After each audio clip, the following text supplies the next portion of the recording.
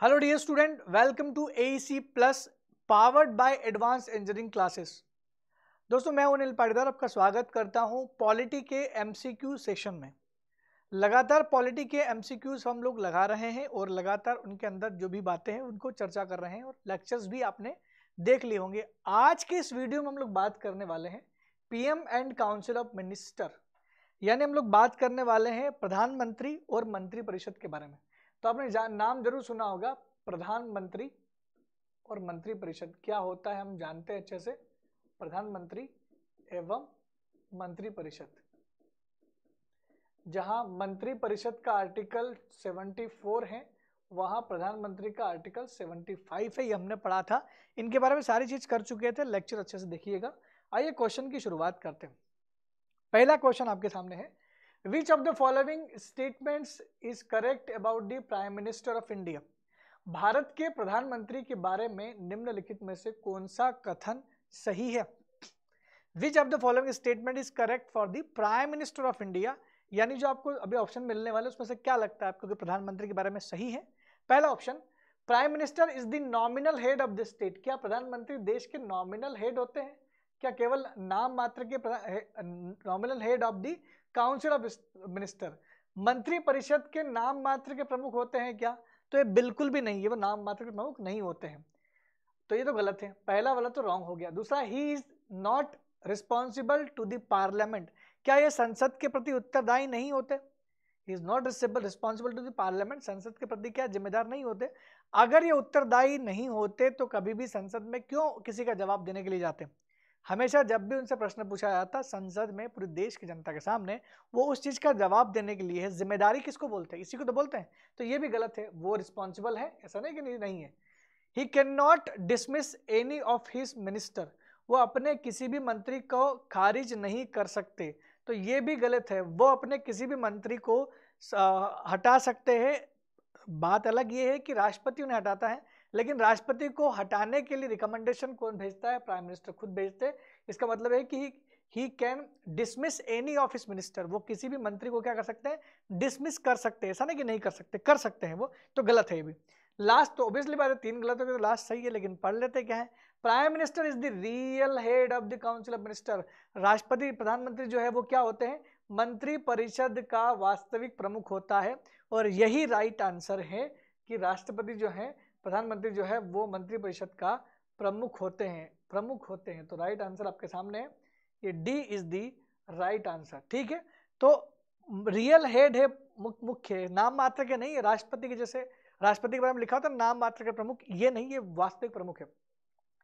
Article number 78 बात करता है of the constitution of India lays down the duties of article number अठहत्तर क्या बात करता है कि भारत के संविधान में के अनुच्छेद अठहत्तर के तहत कर्तव्यों को पूरा करता है। यह अठहत्तर में क्या लिखा हुआ है?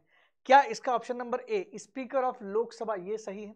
क्या option number B, chairman of Rajya Sabha, क्या ये सही है? Option number C, controller auditor general of India और option number D, prime minister. क्या आर्टिकल अठहत्तर में किसके कर्तव्यों के बारे में लिखा गया है?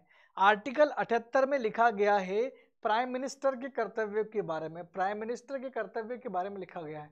क्या लिखा गया है, जरा ये सुन ले आप। आर्टिकल अठहत्तर बात करता है कि जो भी डिसीज़न प्रधानमंत्री और मंत्री परिषद अपनी मीटिंगों के दौरान, जो भी लोग मीटिंग करते हैं, उस मीटिंग के दौरान प्रधानमंत्री और मंत्री परिषद के लोग जो डिसीज़न लेते हैं, प्रधानमंत्री की ड्यूटी है कि उस डिसीज़न के बारे में राष्ट्रपति को इन्फॉर्म करें।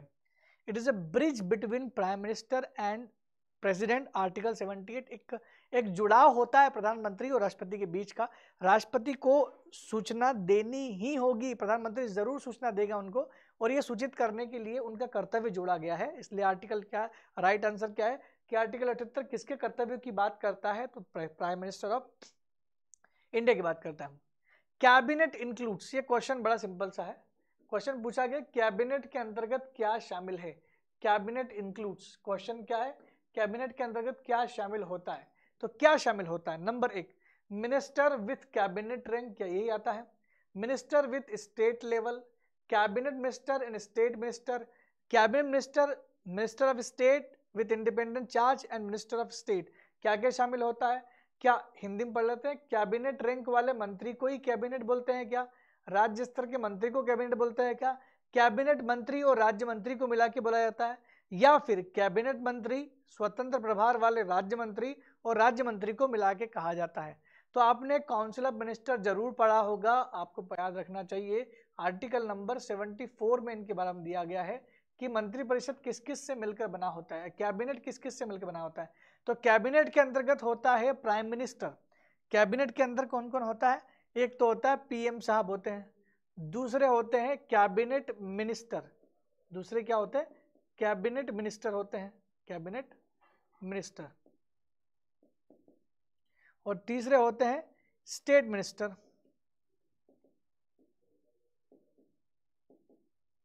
लेकिन ध्यान रहे, मैंने आपको क्लास में बताया था कि स्टेट मिनिस्टर में दो तरीके के स्टेट मिनिस्टर होते हैं इंडिपेंडेंट चार्ज। Independent charge. तो minister of state, independent charge और minister of state plus cabinet plus PM, सबको मिला के कैबिनेट बोलते हैं। अब पीएम जो होते हैं, वो खुद एक कैबिनेट मिनिस्टर होते हैं, ये भी सुन लीजिए। पीएम जो होते हैं, वो खुद कैबिनेट मिनिस्टर होते हैं। तो आपका ऑप्शन नंबर जो डी दिख रहा है आपको, वो राइट आंसर होगा। मैं आपको बता दूँ कि इसमें कौन कौन होते हैं। इसमें होते हैं कैबिनेट मिनिस्टर, बिल्कुल कैबिनेट मिनिस्टर होंगे। कैबिनेट मिनिस्टर के साथ साथ मिनिस्टर ऑफ़ स्टेट भी होंगे और minister of state independent charge भी होंगे। तो सारे इसके राइट आंसर है, ये वाला चौथा नंबर का। तो ध्यान रखिएगा कैबिनेट मतलब ये होता है। आपसे पूछा जाए कि कैबिनेट शब्द का उल्लेख कौन से आर्टिकल में है?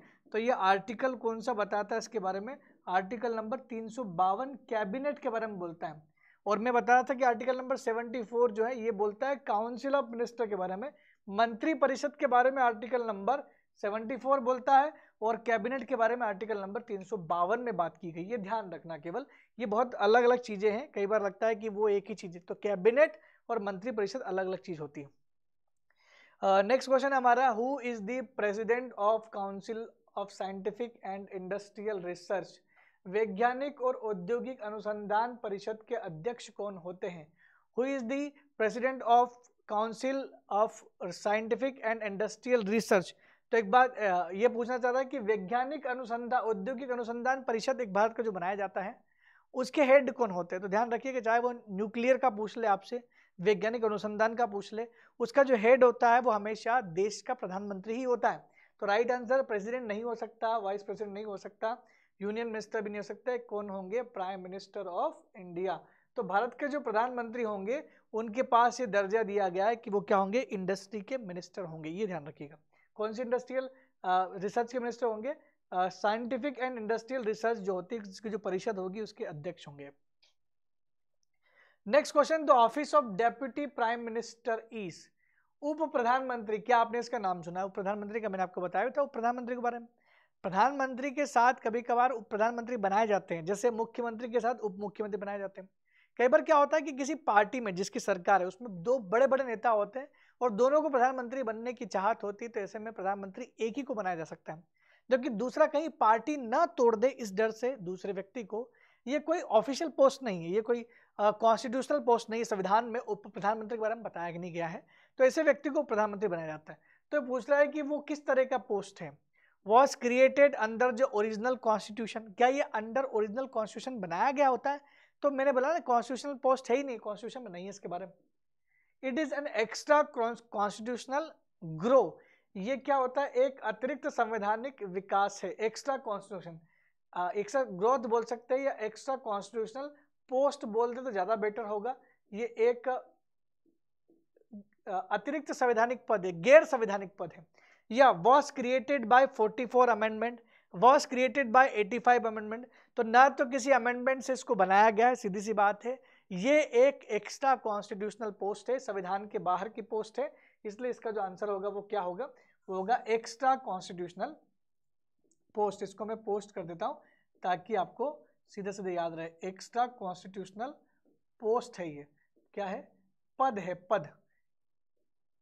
Is an extra constitutional post ये ध्यान रखिएगा।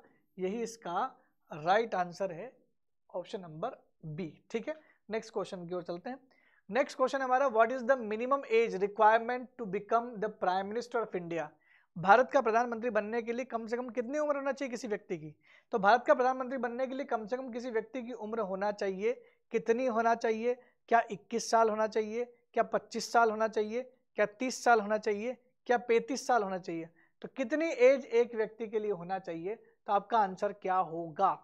क्या 21 साल में तो 21 साल सरपंच के लिए है, उसके लिए नहीं है। 21 साल किसके लिए? सरपंच बनने के लिए, पंचायत के चुनाव के लिए है। तो ये ये भी ध्यान रखने वाली बात है। 25 साल एमएलए बनने के लिए है, मेंबर ऑफ़ पार्लियामेंट बनने के लिए। 30 साल राज्यसभा मेंबर के लिए है। पैंतीस साल राष्ट्रपति बनने के लिए है। सब तो लिख दिया मैंने। क्या चाहिए आपको?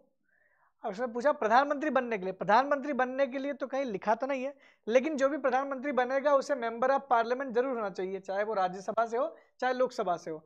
तो फिर भी कितनी होना चाहिए? कम से कम इतनी होना चाहिए। देखिए, जो प्रधानमंत्री बनेगा वो लोकसभा या राज्यसभा का मेंबर होना चाहिए, ये कंपल्शन है। अगर वो लोकसभा के मेंबर है तो 25 साल मिनिमम एज, राज्यसभा के मेंबर है तो 30 साल मिनिमम एज। लेकिन क्या पूछ रहा है कि न्यूनतम आयु कौन सी है? तो 30 कम है कि 25 कम है? तो आप बोलोगे, सर 25 कम है। तो 25 जो है वो कम इस वजह से राइट आंसर क्या हो जाएगा? 25 इज़ द राइट आंसर ठीक है पच्चीस इसकी न्यूनतम उम्र होती है। नेक्स्ट बात करें अगर क्वेश्चन की तो council of minister is collectively responsible to which of the followings मंत्री परिषद निम्न में से किसके प्रति सामूहिक रूप से उत्तरदायी होते हैं? प्राइम जो मंत्री परिषद के लोग होते हैं, वो सामूहिक रूप से किसके प्रति उत्तरदायी होते हैं? अगर क्वेश्चन पूछा जाता है व्यक्तिगत तौर पर, व्यक्तिगत तौर पर इंडिविजुअली इंडिविजुअल किसकी तरफ़, किसके तौर पर रिस्पॉन्सिबल होते हैं? तो आंसर आता प्रेसिडेंट के प्रति, व्यक्तिगत तौर पर। लेकिन क्वेश्चन क्या पूछा कलेक्टिवली रिस्पॉन्सिबल क्वेश्चन पूछा गया है कि सामूहिक उत्तरदायित्व किसके प्रति होता है? तो सामूहिक रूप से, अब इसको समझना बहुत सिंपल सी बात है। अगर राष्ट्रपति चाहे तो किसी मंत्री को हटा सकते, सिंगल मंत्री को, प्रधानमंत्री के बोलने पर। लेकिन सभी मंत्रियों को एक साथ हटाना हो तो लोकसभा से ही हटा सकते हैं। तो ये जिम्मेदार किसके प्रति होंगे? लोकसभा के प्रति। सभी मंत्री लोकसभा के प्रति कलेक्टिवली रिस्पॉन्सिबल होते हैं। कुछ लोग इसे संसद कह देते हैं। संसद नहीं, केवल लोकसभा लिखा है वहाँ पर। तो लोकसभा के प्रति जिम्मेदार होते हैं। नेक्स्ट है the least number of member who can who can able the, who can table the no confidence motion against the council of minister in Lok Sabha Lok Sabha में काउंसिल ऑफ़ मिनिस्टर मतलब मंत्री परिषद को हटाने के लिए अविश्वास प्रस्ताव पेश करने वाले सदस्यों की कम से कम संख्या कितनी होती है? हाउ मेनी मेंबर लिखा ना the least number of member who can table table मतलब रखना। The no confidence motion against the council of minister in Lok Sabha Lok Sabha में सरकार को हटाने के लिए एक बिल लाया जाता है, मैंने बताया था नो कॉन्फिडेंस मोशन अविश्वास प्रस्ताव लाया जाता है। आप जानते हैं इस बात को। लेक्चर में पढ़ा था हमने। कितने लोग साइन करेंगे तब वो आएगा? तो क्या 20 लोगों के साइन से आ जाएगा? 20 30 40 50 कितना राइट आंसर है? तो मैं आपको बता दूँ कि लिखा हुआ है क्लियर लिखा हुआ है कि यदि सरकार के अलावा, सरकार के अपोज अपोजिशन वाली सरकार लाती है तो विपक्षी दल के यदि 50 लोग साइन करके स्पीकर के पास पहुँचा दे तो वो नो कॉन्फिडेंस मोशन के लिए अनुमति ले सकते हैं। केवल अनुमति मिलेगी। उसके बाद फिर वोटिंग होगी। तो 50 लोगों के कम से कम साइन चाहिए तो राइट आंसर क्या हो गया? 50 is the right answer next question है। Which of the following motions which of the following motions the council of minister in India can move इनमें से कौन सा मोशन जो है वो काउंसिल ऑफ़ मिनिस्टर मूव लाता है? मंत्री परिषद निम्नलिखित में से किस प्रस्ताव को पेश कर सकती है? किसको पेश मंत्री परिषद करती? क्या नो कॉन्फिडेंस मोशन मंत्री परिषद लाती है? तो नो कॉन्फिडेंस मोशन मंत्री परिषद नहीं लाएगी। क्यों? क्योंकि ये तो अपोजिशन वाले मंत्री परिषद के खिलाफ लाते हैं। भाई नो कॉन्फिडेंस मोशन तो मंत्री परिषद के खिलाफ उसके अपोजिशन वाले लेकर के आते हैं। नेक्स्ट है सेंसर मोशन सेंसर मोशन को बोलते हैं निंदा प्रस्ताव। ये निंदा प्रस्ताव भी अपोजिशन वाले सरकार की नीतियों के खिलाफ लाते हैं। एडजॉर्नमेंट मोशन एडजॉर्नमेंट मोशन स्थगन प्रस्ताव जो है, ये वो नहीं ला सकते हैं। ये स्थगन प्रस्ताव, ये एडजॉर्नमेंट मोशन जो होता है एडजॉर्नमेंट सीन डाई सीनोडाई या एडजमेंट या स्थगन प्रस्ताव जो, स्थगन जो है, ये भी, स्थगन प्रस्ताव जो है, ये भी अपोजिशन वाले व्यक्ति जो है, खाली वो ही नहीं ला सकते हैं। स्थगन वाले कोई भी पोजिशन अपोजिशन सब मिला करके ला सकते हैं। ये विशेष कार्यवाही को रोकने के लिए होता है तो इसमें भी नहीं है कि खाली वो ला सकते हैं। तो फिर क्या ला सकते हैं? ऑप्शन नंबर डी इसके लिए राइट आंसर होगा कॉन्फिडेंस मोशन मतलब विश्वास मत। सोचो आप, जब सरकार को हटाने के लिए अपोजिशन वाले ने क्या किया? सरकार को जब हटाना था तो अपोजिशन वाले क्या कर रहे थे? अपोजिशन वाले उनके खिलाफ क्या ला रहे थे? नो कॉन्फिडेंस मोशन ला रहे थे। तो अपोजिशन के इस कॉन्फिडेंस को खत्म कर नो कॉन्फिडेंस का जवाब देने के लिए सरकार को यानी काउंसिल ऑफ़ मिनिस्टर को कॉन्फिडेंस मोशन लाना ही पड़ेगा। तो विश्वास प्रस्ताव लेकर के आते हैं मंत्रिपरिषद। नेक्स्ट क्वेश्चन है द प्राइम मिनिस्टर इज़ प्रधानमंत्री क्या होता है? प्रधानमंत्री इलेक्टेड बाय लोकसभा क्या प्रधानमंत्री को लोकसभा से इलेक्ट किया जाता है? Prime minister is elected by parliament क्या संसद द्वारा चुने जाते हैं prime minister appointed by minister president क्या राष्ट्रपति अपॉइंट कर देते हैं? चुना, चुनने की ज़रूरत नहीं पड़ती। या nominated by party in majority of Lok Sabha या उस पार्टी के बहुमत द्वारा नामित होते हैं जो पार्टी की सरकार, जैसे बीजेपी के पास बहुमत है। बीजेपी के पास बहुत सारी सीट है तो बीजेपी डिसाइड करती है कि वो नॉमिनेट करेगी कि ये प्रधानमंत्री बनेंगे। क्या राइट आंसर है इसका? इसका राइट आंसर कई बार तो क्या कंफ्यूजन होता है कि यार पार्टी के लोग जिसको चाहेंगे उसी को तो प्रधानमंत्री बनाएँगे और प्राइम मिनिस्टर तो पार्लियामेंट का मेंबर भी होना चाहिए। तो कभी लगता है कि पार्लियामेंट इलेक्ट करती है, कभी लगता है कि नॉमिनेटेड बाय हिज पार्टी लेकिन राइट आंसर आपको पता है कि प्रधानमंत्री की नियुक्ति कौन करता है? अपॉइंटेड बाय प्रेसिडेंट ये राइट आंसर होगा। संविधान में यही लिखा हुआ, बाकी सब चीज़ें नहीं है इतना। तो prime minister appointed by president राष्ट्रपति जी ही उन्हें नियुक्त करते हैं तो राइट आंसर हो गया आपका C is the right answer तो इस तरह से आपके प्रधानमंत्री के क्वेश्चंस भी यहाँ पर कुछ क्वेश्चंस हमने लिए थे। इस तरीके के क्वेश्चंस आ सकते हैं, एक बार ज़रूर आप अच्छे से इनको लगाएँ। जितने ज़्यादा हो सकते हैं एमसीक्यू लगाएँ टेस्ट पेपर दें, आपको बहुत फ़ायदा मिलेगा। जीएस में आपकी जो कमज़ोरी है, वो हमेशा के लिए खत्म हो जाएगी। दोस्तों, इसी तरह के वीडियो में फिर लेकर के आऊँगा। तब तक के लिए धन्यवाद। Thank you very much